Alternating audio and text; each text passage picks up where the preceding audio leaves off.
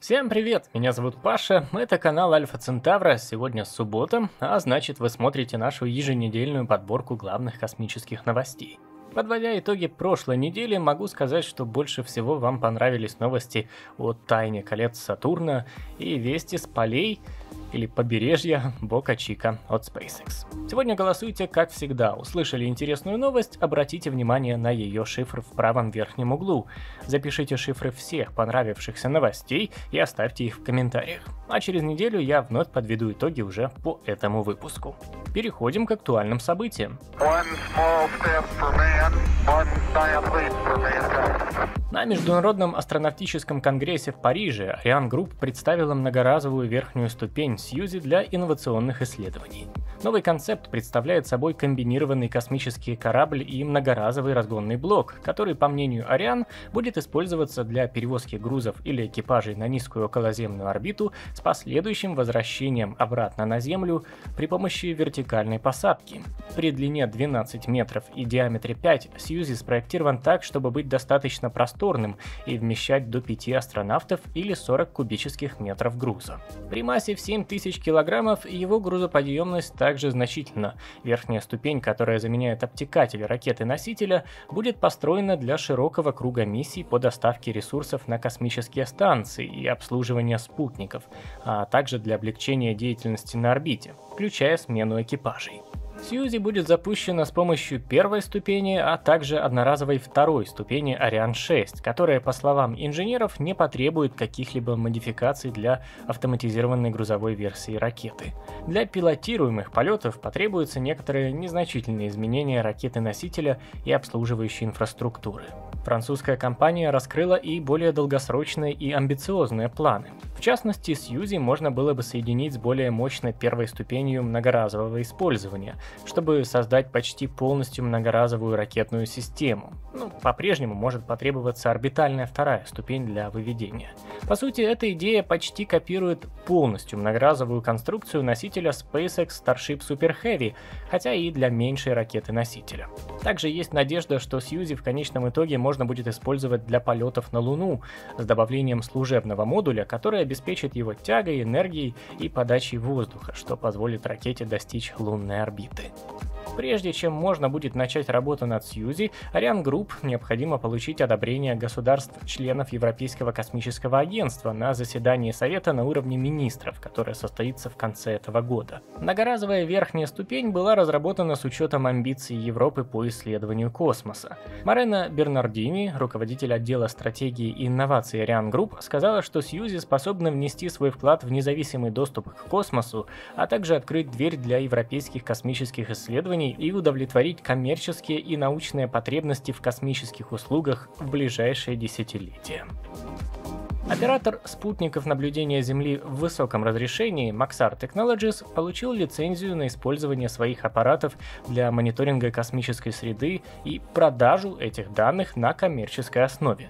Наличие такой лицензии дает возможность коммерческим спутникам дистанционного зондирования Земли наблюдать за космическим мусором и другими объектами. Максар хочет использовать эту возможность для удовлетворения растущего спроса со стороны государственных и коммерческих клиентов на данные мониторингов космической среды и мусора. Генеральный директор компании Дэниел Яблонский сказал, что сервисы космического мониторинга компании могут поддерживать приоритеты госбезопасности, которые варьируются от отслеживания объектов и анализа их характеристик до выявления доброкачественных или агрессивных действий на самой орбите. Четыре спутника Максар на орбите и так имели возможность мониторинга окружающей среды, но теперь с лицензией от Национального управления океанических и атмосферных исследований НОАА на дистанционное зондирование они могут проводить наблюдения на коммерческой основе. Новая лицензия также распространяется на 6 спутников серии Worldview Legion, запуск которых компания планирует на конец этого года. Для Maxar и других операторов наличие точных орбитальных данных влечет за собой крупные финансовые последствия. Яблонский привел пример случая, когда спутник обработки изображений Worldview 2, принадлежавший компании Digital Globe, в 2016 году столкнулся с неотслеживаемым обломком. После приобретения Digital Globe в 2017 году году Максар сфотографировала WorldView 2. Выяснилось, что повреждения после столкновения были минимальные. Однако в соответствии с лицензией, которую компания имела на тот момент, ей нужно было получить разрешение от NOAA для съемки собственного спутника. Сейчас улучшение ситуационной осведомленности на орбите и управление движением спутников является одним из приоритетов в работе Максар. Maritime Launch Services и NanoRex LLC подписали с Государственным космическим агентством Украины письмо о намерении поддержать развитие программы Кубсатов в Украине. Об этом было объявлено в ходе Международного астронавтического конгресса, который проходил в Париже с 18 по 22 сентября. Nanorex – частная американская компания, специализирующаяся на производстве космического оборудования, а также интегрировании и доставке полезной нагрузки в космос. У них даже есть амбициозные планы создать собственную космическую станцию. С кубсатами у компании большой опыт. На МКС у нее есть собственная платформа для запуска кубсатов – Nanorex CubeSat Deployer в модуле Kiba и целый шлюз Bishop, который также позволяет запускать нагрузку в космос с самой станции. Nanorex имеет опыт и с университетскими спутниками. В частности, компания поддерживает программу Canadian CubeSat Project, в ходе которой 15 студенческих команд со всей Канады получили гранты на разработку и создание кубсатов. Нечто схожее планируется реализовать в будущем и в Украине. Участники программы смогут создать Кубсат под менторством специалистов из индустрии. За запуск спутников может отвечать Maritime Launch Services. Эта компания планирует создать первый коммерческий космодром в Канаде и совсем недавно приступила к первой фазе строительства. Maritime Launch Services были у многих на слуху благодаря планам запустить со своего космодрома украинскую ракету-носитель «Циклон-4М», однако компания также имеет планы на сотрудничество и с другими ракетостроителями. Хотя письмо о намерении – это еще не контракт с конкретными планами и сроками, этот документ официально закрепляет желание сторон на дальнейшее сотрудничество, а сама инициатива по поддержке спутниковых проектов в университетах – шаг в правильном направлении, поскольку подобные программы являются являются нормой в странах с развитой космической индустрией и помогают привлекать студентов к непосредственному участию в этой самой индустрии прямо с начала обучения. Кстати, позвольте мне пригласить вас к участию в индустрии YouTube. Сейчас самое время поставить нам мощный лайк. Это поможет продвигать дайджесты на YouTube и привлекать новых зрителей. Заранее спасибо. Один из компонентов инструмента ближнего инфракрасного диапазона МИРИ, телескопа имени Джеймса Уэбба, вышел из строя. По словам руководителей программы, это ненадолго. 20 сентября в НАСА объявили о временном прекращении эксплуатации одного из четырех режимов инструмента МИРИ. По словам инженеров, во время подготовки к очередному сеансу наблюдений 24 августа один из механизмов инструмента испытывал повышенное трение текущем состоянии Web не может проводить спектроскопические наблюдения среднего разрешения. Остальные три режима инструмента – спектроскопия низкого разрешения, коронография и визуализация – не затронуты и продолжают использоваться. Научный сотрудник программы JWST Эрик Смит сообщил, что инженеры НАСА не считают, что текущие неполадки помешают использованию инструмента МИРИ в будущем, однако в управлении нацелены понять, что вызвало повышение трения – Паузу в эксплуатации Смит назвал мерой крайней осторожности. На встрече Международного астронавтического конгресса 21 сентября заместитель руководителя НАСА по науке Томас Цурбухин заверил, что волноваться не стоит. Мы всего лишь делаем перерыв в работе, чтобы убедиться, все ли в порядке. Помимо этой неисправности, Цурбухин отметил еще две проблемы, с которыми предстоит справиться Уэбу. Столкновение микрометеороидов с зеркалами телескопа и загруженность сети дальней космической связи НАСА, также известной как DSN, во время миссии Артемида-1. По словам Смита, количество ударов микрометеороидов сохраняется в рамках ожидаемого, однако один из них оказался более сильным, чем рассчитывали в агентстве. Столкновение такой силы ожидается где-то раз в год. Что же касается DSN, потребности первой миссии программы Artemis могут снизить количество времени, доступного для коммуникации с телескопом, с привычных 8 часов в сутки до менее чем 4. Таком случае, говорит Смит, работа Уэба будет распланирована так, чтобы использовать меньше памяти аппарата, позволив ему реже общаться с Землей. Нам придется кое-что перетасовать, но наука от этого не пострадает. НАСА решила вернуть СЛС со стартового комплекса 39B в цех вертикальной сборки в качестве меры безопасности из-за приближения урагана. Такое решение было принято 26 сентября после нескольких дней обсуждения руководителями миссии, и оно потенциально откладывает запуск ракеты аж до ноября. В коротком заявлении НАСА говорится, что решение об отмене было принято на основе последних прогнозов погоды, связанных с ураганом Ян, и после того, как дополнительные данные, собранные ночью, не показали улучшения ожидаемых условий для района космического центра имени Кеннеди. Отмечается, что такое решение защитит ракету и позволит сотрудникам самостоятельно подготовиться к шторму. Перемещение СЛС в цех началось 26 сентября в 23 часа по местному времени и завершилось утром до начала шторма. Агентство несколько раз переносило возможные даты запуска ракеты и возвращения ее в цех сборки. На брифинге 23 сентября представители НАСА четко отметили, что их главный план состоит в том, чтобы оставить СЛС на площадке и воспользоваться возможностью для запуска 27 сентября или 2 октября. Тогда ураган еще был безымянным штормом, и прогнозы показывали, что максимальная скорость ветра не превысит 137 км в час. Однако работники агентства параллельно работали и над второстепенным планом, готовясь не только к запуску. К примеру, перемещали гусеничный транспортер на стартовую площадку на выходных, чтобы, если возвращение в цех понадобится, быть готовыми. 24 сентября НАСА объявила, что не будет пытаться запустить СЛС 27 числа, однако решение о перемещении в цех было отложено сперва до 25 сентября, а затем до 26, поскольку шторм двигался на север медленнее, чем прогнозировалось ранее. Такое расписание исключает возможность запуска ракеты в нынешний период, который истекает 4 октября. Следующее окно продлится с 17 по 31 октября, с некоторыми исключениями. НАСА пока не называла возможные даты запуска. Они будут зависеть от количества времени, которое ракета проведет в цехе, где специалисты, вероятно, будут выполнять технические работы, такие как замена батарей в системе прерывания полета.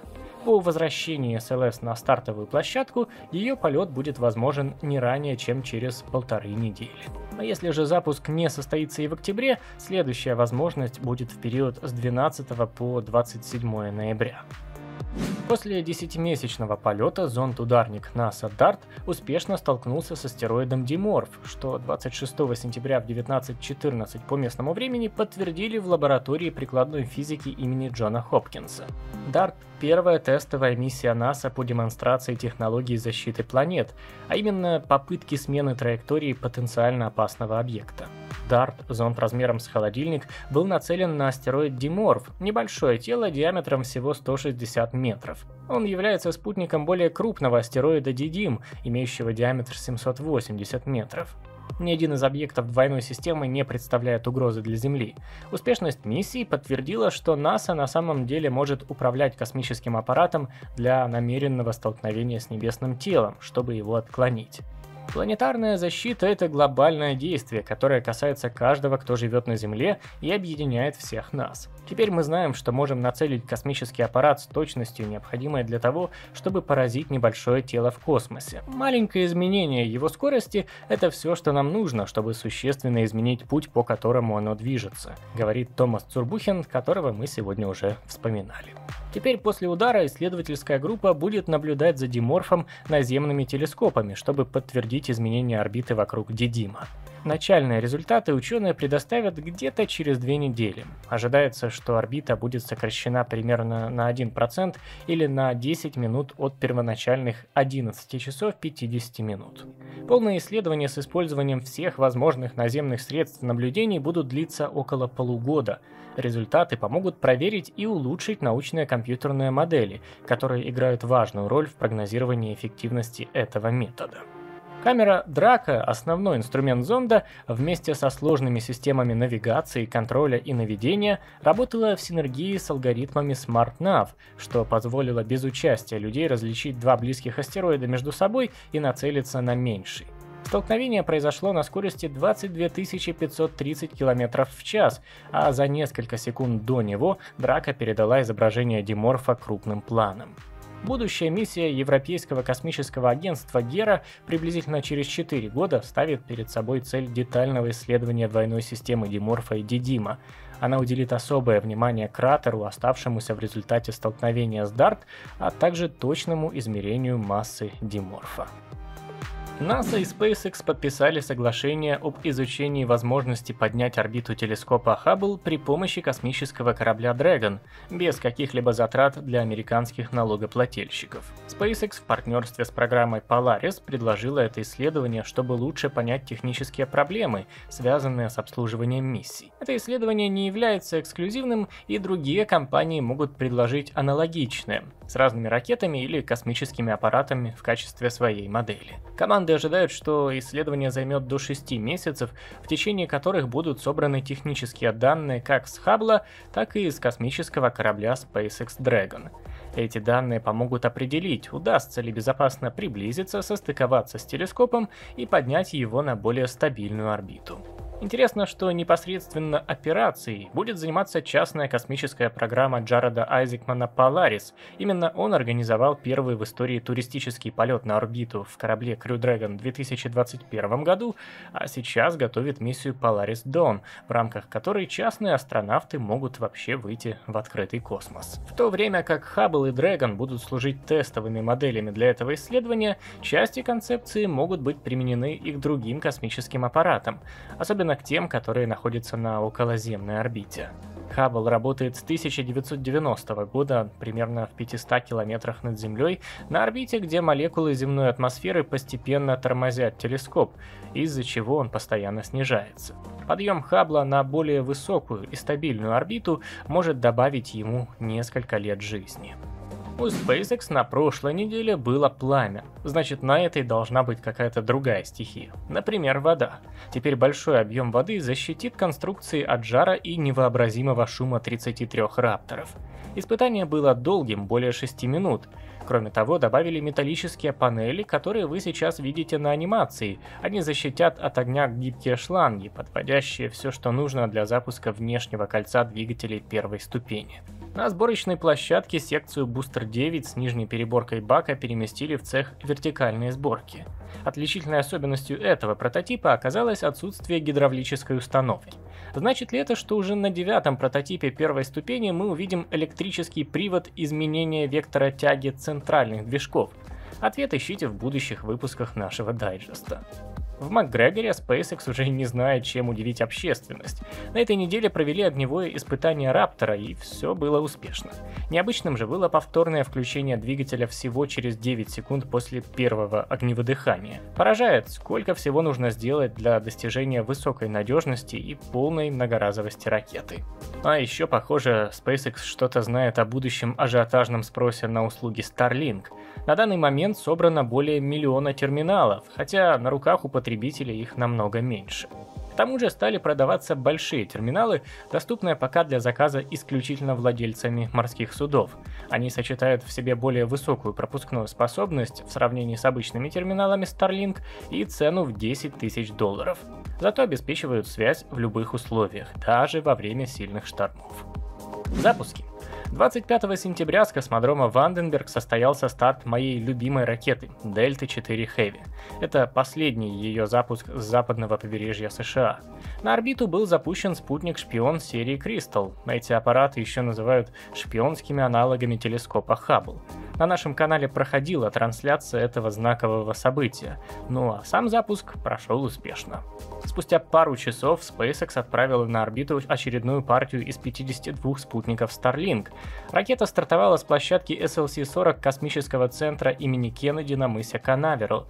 Для первой ступени ракеты это был уже четвертый полет. Она совершила успешную посадку на платформу A Shortfall of Gravitas в Атлантическом океане. Также 25, 26 и 27 сентября состоялись три китайских запуска. Полезную нагрузку на орбиту успешно отправили ракеты Kuaizhou, Changzhen 2D и Changzhen 6 соответственно. На нашем канале посмотрите большое видео о миссии Европа Клиппер. Это ремейк ролика, который выходил на канале несколько лет назад, и большинство из вас его явно не видели. А на сайте почитайте поистине огромный материал в переводе Артура Лебедева о проектах орбитальных заправок и о развитии орбитальной инфраструктуры в целом. Увлекательное чтиво. Все ссылки я оставлю в описании. Я хочу сказать огромное спасибо всем, кто поддерживает наш проект на Патреоне и Ютубе. Благодаря постоянным спонсорам мы можем каждую неделю без пропусков выпускать уже больше 180 дайджестов, писать статьи, делать другие видеоролики и постоянно развивать наш сайт. А еще мы отказываем рекламодателям и не размещаем на YouTube интеграций, только встроенную рекламу Google, которую каждый желающий может отключить. Вы позволяете нам самое главное – быть независимыми, говорить то, что мы думаем, и заниматься тем, что любим. А мы взамен стараемся обеспечивать спонсоров небольшими и приятными бонусами. Так что если можете и хотите нас поддержать, самое время сделать это по ссылкам в закрепленном комментарии. Там же можно отправить и разовый донат. Спасибо!